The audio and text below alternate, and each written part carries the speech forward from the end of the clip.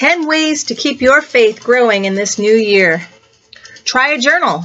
Journal's a useful way to track God working in your life. Document the God sightings where God has unexpectedly shown up. Use an audio Bible.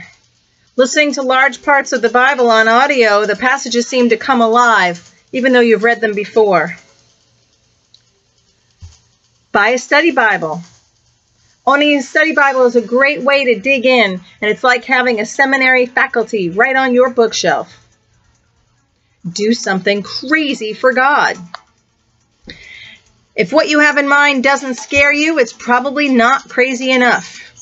True faith leads you out of your comfort zone, and God will help you, but you have to take the first step. Join a small group. Share your life with other Christians that will encourage you, laugh with you, cry with you, and it'll be like giving your soul an energy shot. Forgive quickly.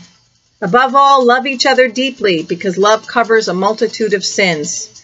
Forgive the way you want God to forgive you.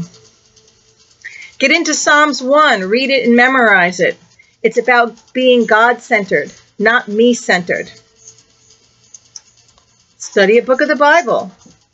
Not 2nd or 3rd John, they're too short.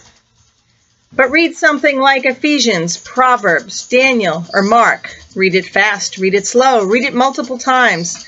Help it get it into your soul. Have mission eyes.